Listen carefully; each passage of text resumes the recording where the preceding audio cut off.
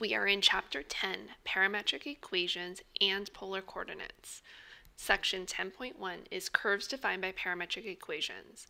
In algebra, we introduce to the idea of plane curves by graphing y as a function of x or x as a function of y.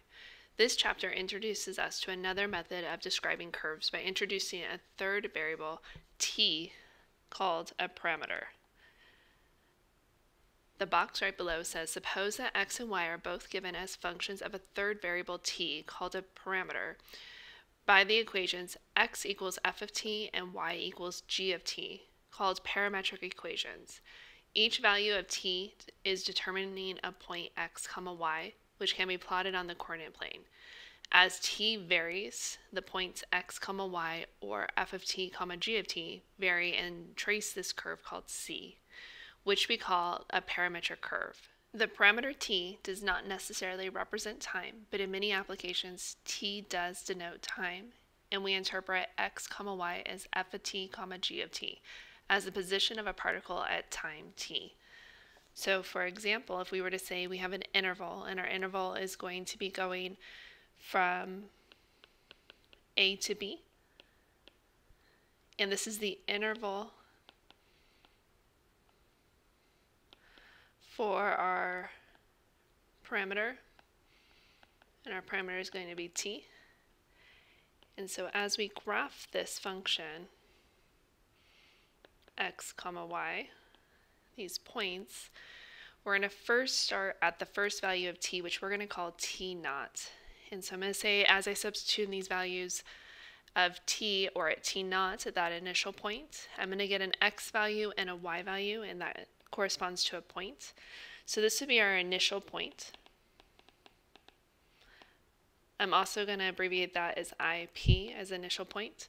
And the initial point would be when t is equal to t naught. And we would have, since that was the initial value for us on that interval, we would have f of a comma g of a. And as we go, let's say the next value we plug in, t is equal to t sub 1 and then the next value we'll say is t equals t sub 2 and so on, plotting all these different points. And I'll just randomly put some points down here. And then the last value that we get to is going to be when we have t equals t sub n. And this is going to be our terminal point. Or I'm going to call TP for terminal point and b was that ending part of our interval. And so this is going to correspond to f sub b, comma g sub b.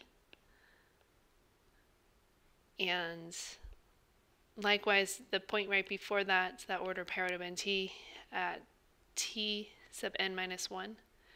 So connecting these points as t progresses,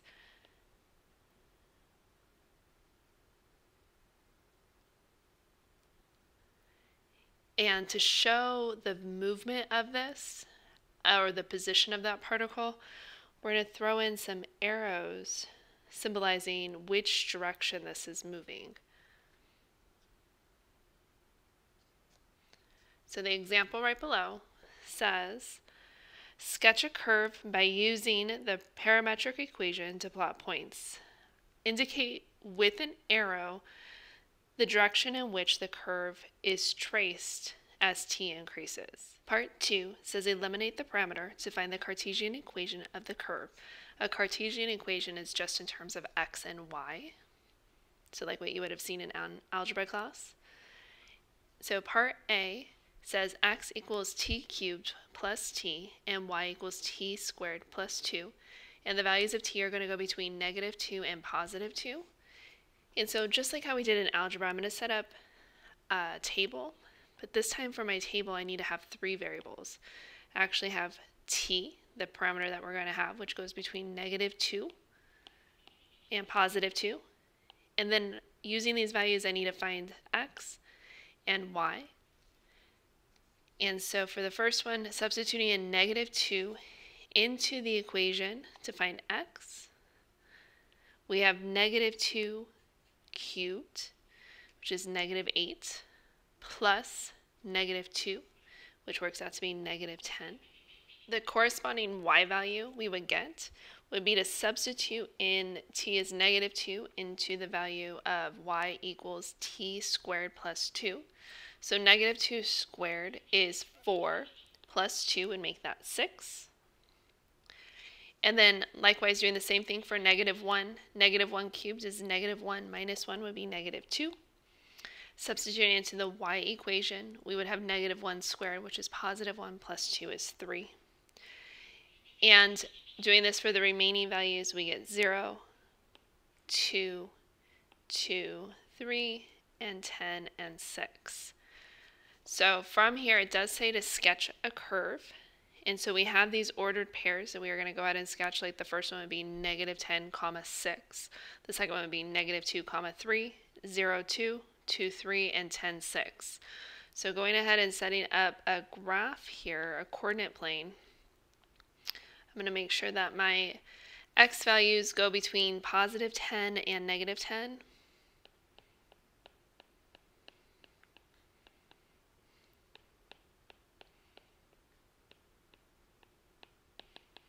And then my y values need to go from, we'll say 0 all the way up to positive 6.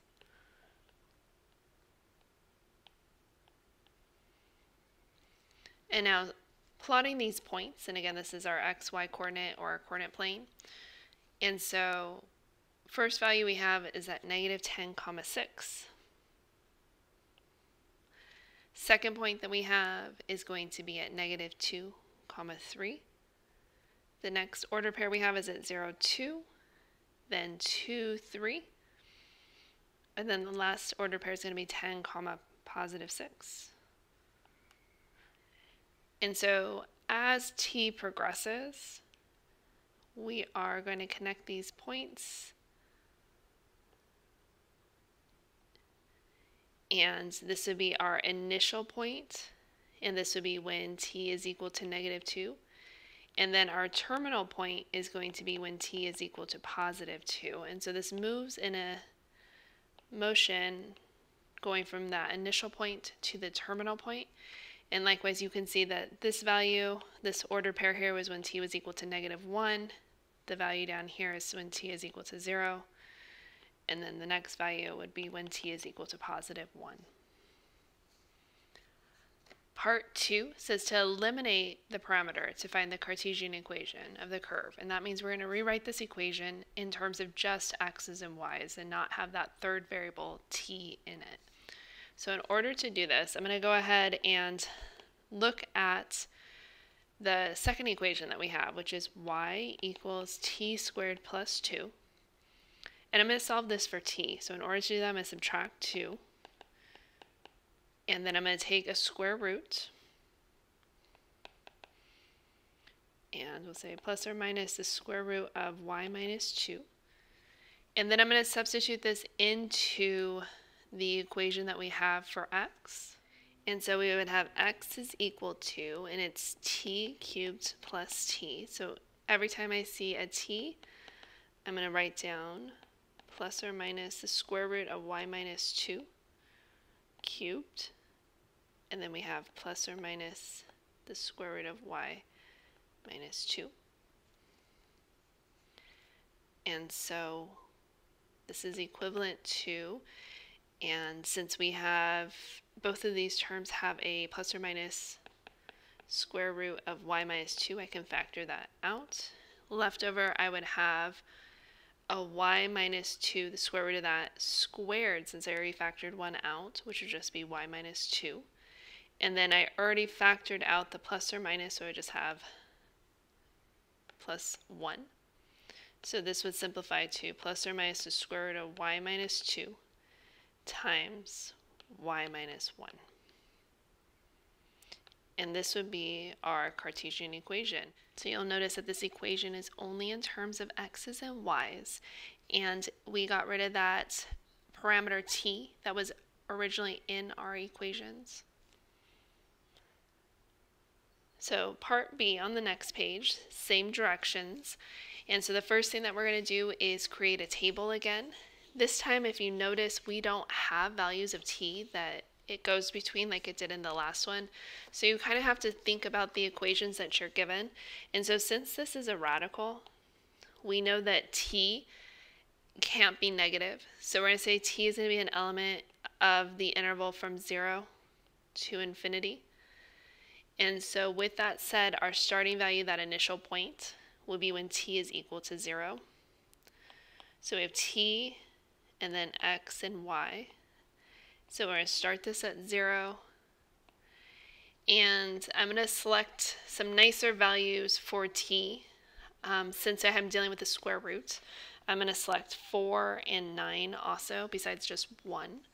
And substituting this in, the square root of 1 is 1, square root of 0 is 0. y is equal to t, so that one would be easy to fill in. And then the square root of t is what x is, so this would be 2 and 3. And so now sketching this, we have all positive values.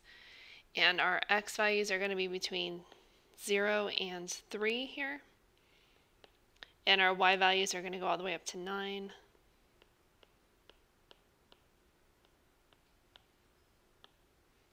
So the first ordered pair that we have when t is equal to 0, we have 0, 0. When t is equal to 1, we have 1, 1. Then we have 2, comma 4, 3, comma 9. And this does continue on. So a little different from the last one because the last one was a closed interval. And this one, it does continue on. So I'm actually going to go past these points. And again, our initial value here, our initial point would be when t is equal to 0. We don't have a terminal point for this one, but we can see as t increases, it's going to be moving up in this upward direction. So I'll even go past our arrow there.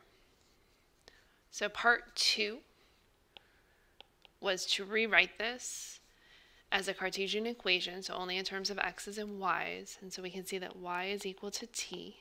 And so substituting this into our x equation, we get x equals the square root of t, and t is equivalent to y. And so you can notice that our Cartesian equation here is in terms of just x's and y's and not the parameter t. The next example, C, looks very similar to the one right before it. And this time we have x is equal to t and y is equal to t squared. This time if you notice these are both polynomials and so we have no restrictions in terms of the t values. So I'm going to say t can be an element from negative infinity to positive infinity. And so I cannot substitute all these values. I'm just going to pick a handful of them to plug in for t. And so I'm going to say we'll go from negative 2 to positive 2. If you need additional points, you can definitely do that. And then we need to get our x and y values. And so x is equal to t. So I'm just going to copy down all these values since they are equal. And then y is equal to t squared. So negative 2 squared is 4, 1, 0, 1, and 4. And so from now, from the table that we have, we're going to go ahead and sketch this. Again, everything is positive.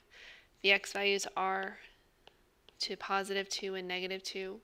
The y values go up to 4. So the first point that we have, which is not our initial point, since our initial point would be at negative infinity, or that idea of something very, very, very small. And so when t is equal to negative 2, the order pair that's equivalent at that is going to be negative 2, comma 4. So this is when t is equal to negative 2. When t is equal to negative 1, we have negative 1, comma 1, then 0, 0, 1, 1. And then when t is equal to positive 2, we have 2, comma 4. And so connecting our ordered pairs. And then as this, the direction of this moves, put those arrow tips on so you can see that. And then part two was to rewrite this as a Cartesian equation. And we know that x is equal to t. And so all I'm going to do is rewrite our y equation by substituting in x for t since they're equal. So we get y equals x squared. Notice that our equation does not have any t's in it. We got rid of our parameter. Part D, we're going to go ahead and circle and we'll look at that one together in class. The next example says 1. Eliminate the parameter to find the Cartesian equation of the curve. Part 2 says to sketch the curve and indicate with arrows the direction in which the curve is traced as the parameter increases. So for part A, the equations that we have is x equals 1 half cosine theta and y equals sine theta. And theta is between 0 and pi. So you'll notice that this time our parameter is not t, it is theta. And so in order to do this, the first part says to rewrite this as a Cartesian equation. So in order to do this, I'm going to go ahead and multiply both sides by 2 for the x equation. So I have 2x is equal to cosine of theta. And likewise, I'm going to get our sine of theta by itself, and I'm going to divide both sides by 2, or rewrite this as 1 half y equals sine of theta. So this one's a little different from the ones that we just did previously in the, in the lecture video, since these are not polynomials, these are in terms of trig functions. And we do know that sine and cosine have a relationship between them, and that is that sine squared theta plus cosine squared theta is equal to 1. Well, we know that sine theta is equal to 1 half y. So sine squared theta would be squaring that value. Plus cosine theta is equal to 2x, and so we can square that also. And this would be equal to 1. You can rewrite this as 1 fourth y squared plus 4x squared is equal to 1. And if you remember, this is an ellipse, so very similar to a circle, and um, however, because those values are not the same in front of the x squared and the y squared, we do not have a circle, we have an ellipse. And so a way to think about this would be y squared equals 2 over 2 squared plus x squared over, and to rewrite the 4, I'm going to rewrite this as 1 half squared. And so this is an ellipse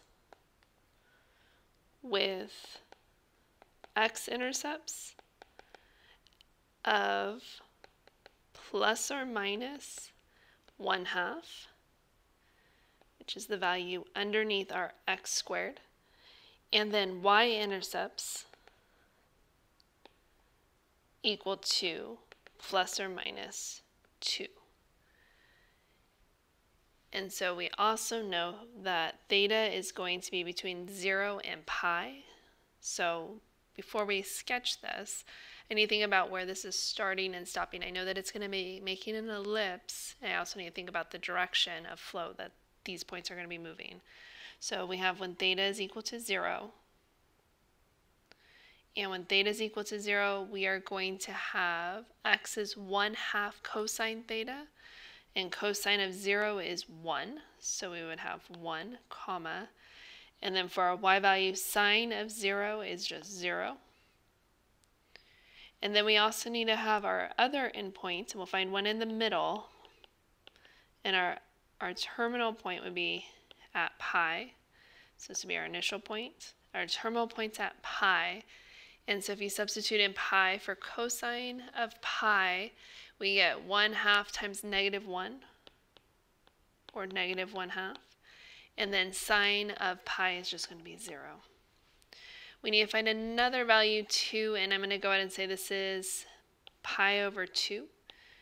And so cosine of pi over 2 would be 0. And sine of pi over 2 is going to be 1. 1 times 2 is 2.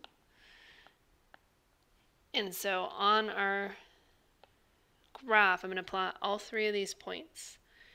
And so our x values We'll say this is 1 half and negative 1 half since those are the largest x values that we have. And then our y values are going to extend up to 2.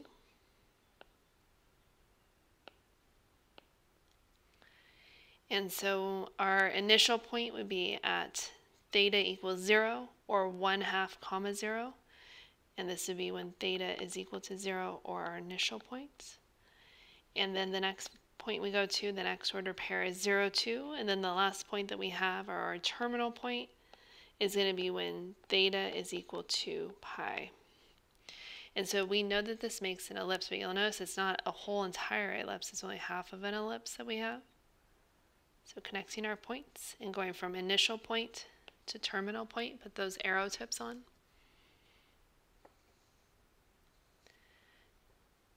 The next example says x equals e to the t and y equals e to the negative 2t.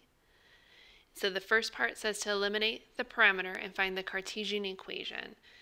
And so first thing that we know is that we don't have values that t is ranging between. So we know that t would be able to take on any value, so it would be between negative infinity and positive infinity. However, substituting in, in any value for t, we know that x will always be positive, greater than 0.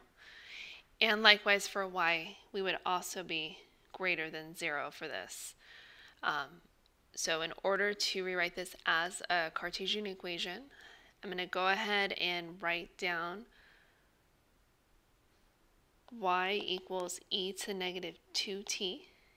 And I'm just going to rearrange the order of my exponents here. And so this is e to the t times negative 2. And then rewriting this again, this is the same thing as e to the t, negative 2. And so this is all equivalent. And we know that e of t is the same thing as x.